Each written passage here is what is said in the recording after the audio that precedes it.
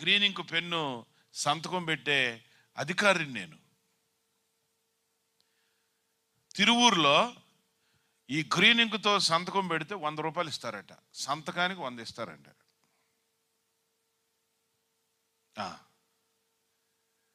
నా దగ్గరికి ఒక్కోసారి తెల్లవారుజామున నాలుగింటికి వస్తారు.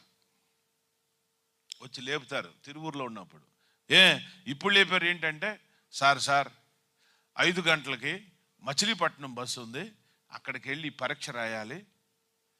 కొంచెం గజిటెడ్ ఆఫీసర్ సంతకం కావాలి సార్ అన్నాడు ఒకడు వచ్చి సంతకం పెట్టిన తర్వాత ఆడు రెండు వందలు ఇచ్చాడు నాకు. ఏంటబ్బా ఇది అంటే? ఇది సంతకం పెట్టినందుకు తీసుకుంటారు కదా సార్ అన్నాడు. నా దగ్గరికి నువ్వు తెలిసి వచ్చావో తెలియక వచ్చావో నాకు తెలియదు కానీ ప్రభుత్వం నాకు ఇది ఉచితంగా ఇచ్చింది అబ్బాయి. జేబులో పెట్టుకో. అని అతని జేబులో పెట్టించి మళ్ళీ ప్రార్థన చేసి పంపించా. దీనికి నేను డబ్బులు తీసుకుంటే తీసుకోవచ్చా తీసుకోకూడదా? ఆ? తీసుకోకూడదు. ఇంకో మాట చెప్పాలి మీకు. నేను కాలేజీ ప్రిన్సిపాల్గా ఉన్నా. ఈవేళ దగ్గర దగ్గరగా దగ్గర దగ్గరగా పదమూడు పద్నాలుగు లక్షల రూపాయలు ఖర్చు పెట్టా కాలేజీకి. మొత్తం యాభై లక్షలు ఖర్చు పెట్టాలి రెండు నెలల్లో. నాకు సంతోషంగా వాళ్ళు పర్సంటేజ్ ఇస్తారు. కొంతమంది ఇది ఒక క్రైస్తవ్యం ఉంది. వాళ్ళు ఇస్తే మనం తీసుకోవచ్చు మనం ఏమని అడగలేదుగా. వాళ్ళు సంతోషంగా ఇస్తున్నారు తీసుకో. ఈ టైపు భక్తి ఉంది. బయట ఉంది నేను లేదని నేను చెప్పట్లేదు. పాస్టర్లు కూడా చెబుతారు ఇట్లాంటి ఇట్లాంటి మాటలు. ఒక ఆయన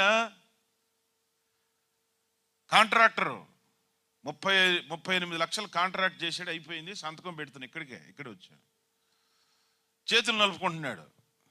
నాకు అర్థమైంది కానీ నువ్వు నాకు ఒక్క రూపాయి కూడా ఇవ్వద్దు. అందులో ఏడు శాతం తీసుకుంటారు. ముప్పై ఏడు లక్షలకి ఏడు శాతం అయితే ఎంత? కొన్ని వేలల్లో ఉంటుంది.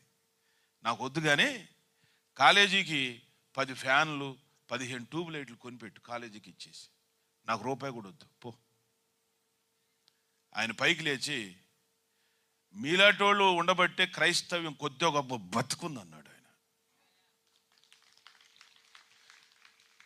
మిమ్మల్ని చూశాక మిమ్మల్ని చూశాక క్రైస్తవ్యం మీద గౌరవం పెరిగింది అన్నాడు ఆయన. నేను ఏలూరులో ఉంటానండి.